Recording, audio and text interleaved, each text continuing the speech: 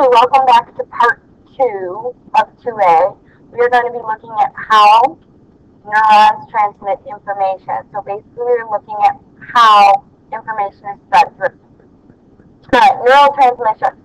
Neural, um, the neurons are transmitting information. One thing you need to understand is the neurons begin at what's known as a resting potential. Okay, so neurons begin where there are uh, more positive ions outside the neuron and more negative ions in. So I have my image down here. In this image, this long tube, that's the axon. As you can see along the axon, there's more positives outside and the negatives are in. This is what's known as resting potential. Okay, so what is an ion? Ions are electrically charged atoms. We can either be positive, as we see the sodium, and negative, potassium. Ions help create electricity that allows an action potential to occur. So when the switching of these two axons take, starts taking place within the neuron, charges are going to be starting to spread and movement's going to start occurring.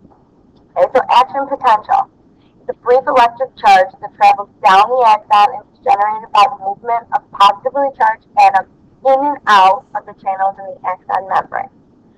Alright, so basically, essentially here we have our axon, right, and action potential is when it's going to start happening when positives start entering and negatives start going out. Usually there's more positives outside, okay, and it wants to go to a less crowded space, so it enters the neuron. Right. Ions are exchanged. Sodium is pumped in and potassium is pumped out.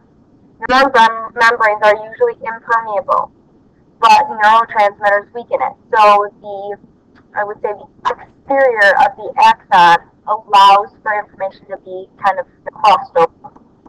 Pull it up. Here's the gate, sodium potassium pump, allowing uh, sodium to pass in and potassium to pump. Right. Depolarization is taking place when the positive ions enter the neuron, making it more prone to fire. Hyperpolarization occurs when negative ions enter the neuron, making it less prone to fire and action potential. And so when positives are entering, it's depolarizing. When negatives are entering, it's hyperpolarization. So how do you know when a neuron will fire? How do you know how many positives you have to have that enter in order for action potential to take place? Well, it needs to cross what's known as a threshold. Each neuron receives depolarization and hyperpolarization currents from many neurons.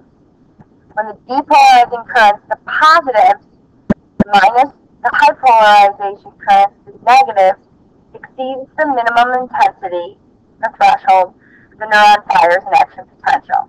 So basically, if the positive sodium ones exceed the negative, the potassium ones, there will be a firing taking place. Boom. Okay, the method. It has what's known as the all or none response. When the depolarization current exceeds the threshold, a neuron will fire. If the depolarization current fails to exceed the threshold, a neuron will not fire. Okay? So I like to think of it as no matter how many positives you have, okay, within the axon, it's not going to fire any faster. As long as it's reaching that threshold, okay, the minimum threshold, it will fire.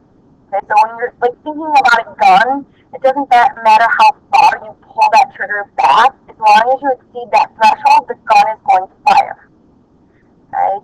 So intensity of the action potential remains the same throughout the length of the axon.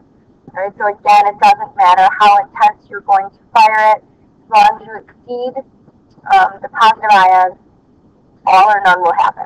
All or none. Okay.